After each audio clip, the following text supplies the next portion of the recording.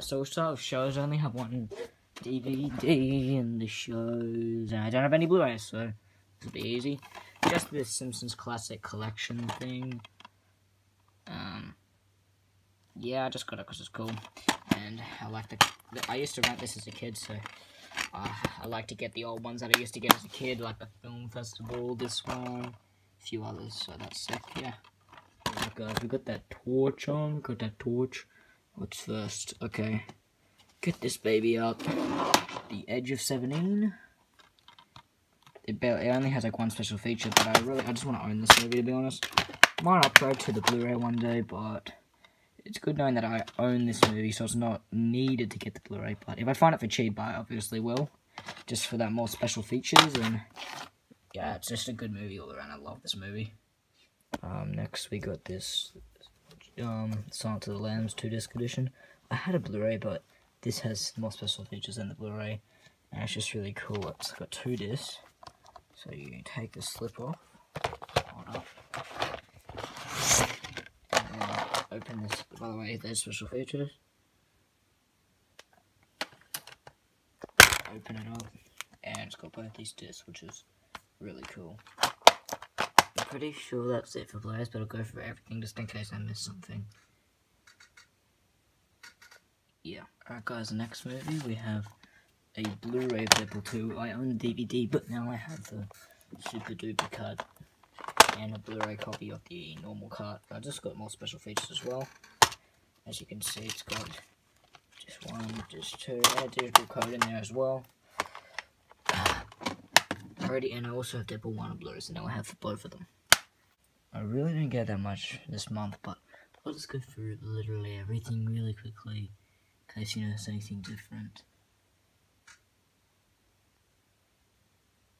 And I just did notice something different. Alright. Um, where are we? Oh, I did get this. Man of Steel right? Yeah, that's something different. Yeah, guys, I didn't really didn't get much movies this month. What else did I get? Oh yeah, here's one. You got Kingsman. I got that. Yeah, that's pretty cool. And I think that's really it. I didn't really get much this month. But yeah. And next up, a movie that I'm probably never going to watch because I bought this and realized that the person who made this has was basically, let's just say, a bit of a Jeeper Creeper himself. Yeah, I don't think I'm ever really. Well, I might watch this, but like, I'm not gonna think of the movie the same. I'm not gonna go into the topic, but yeah. Um, but yeah.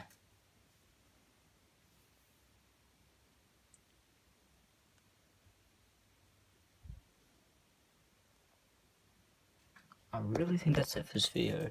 Sorry guys.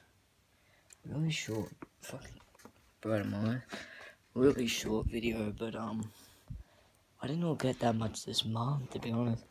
Cause um they're really I haven't been going raining too much.